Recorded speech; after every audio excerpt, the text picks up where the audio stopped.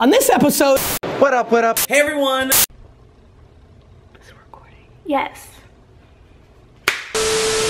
Hey guys, Natasha from Forbes here. This week on the Business of Influence, it's all about money. So, how do your favorite online celebrities turn their influence into cash? Online celebrities are like rock stars and baseball players.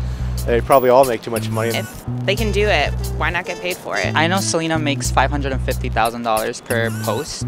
I'm a really big Selena fan, so that's how I know like everything. You know, it's hard work to get that brand. It's not easy.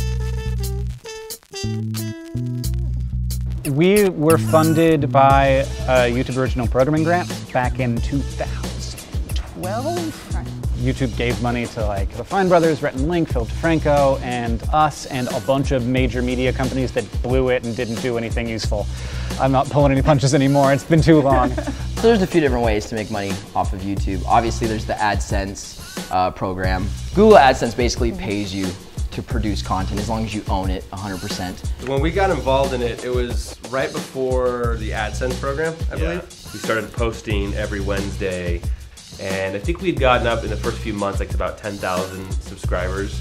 In, in a sense, like we, we started making money from YouTube, but it was never enough to really co- uh, cover like life expenses. And then there's also brand deals. I guess the idea is why would we spend so much money on a commercial that doesn't get the views that we would get? With any brand that I've worked with, with any um, music artist that I've worked with, I always want to make it organic and real and that people to know it comes from me. Early on, we recognized that this wasn't just a fun, fluky thing, but that there was an actual business opportunity.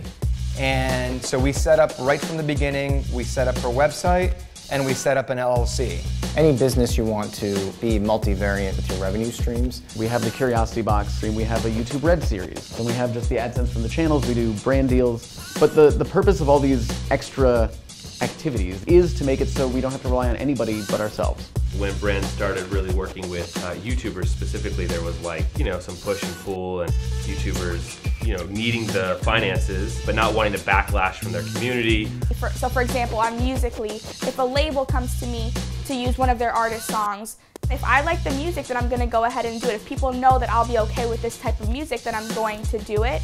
You'll get your hecklers, like people calling you out, but at the same time, everybody that's anybody on social media is posting ads and people are just immune and accustomed to it at this point that it's just expected. It has to be different for every creator. It depends on the kind of content you create, it depends on the kind of audience you have, it depends on the kind of person you are. Brand deals might be 90% of one person's revenue and Patreon, where people just like voluntarily subscribe with dollars, might be 90% of another person.